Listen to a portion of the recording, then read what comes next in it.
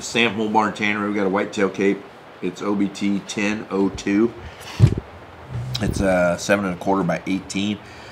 We grade everything here. We're gonna grade this as a commercial plus piece. This is absolutely amazingly gorgeous. Um, it's a little bit shorter hair. I mean, it's not a short, short hair, but it's a little bit shorter hair. It's it's just it's amazing.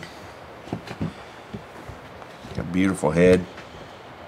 Got a couple little scars. I mean, just little bitty things. Got one there. I see the front of the caruncle's got just a pinhole in it. The eyes are in good shape. Ears, very tips are blown out, but nothing make or break the bank by no reason. So you can see it's got some pretty good stretch in it, but I stretched it out. It's it's 18 over the Atlas.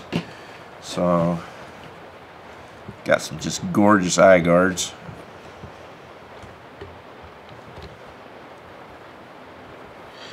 Inner nose hairs. It's there. It's not real prominent, but it is there. Some really nice chin whiskers. So make somebody a beautiful mount. It probably would even work for competition piece. I'm just not going to grade it up that high because of the size. It's not great, very big. So uh, if you see this one or anything else, just give Colton a call. We'd love working with you. Have a great day.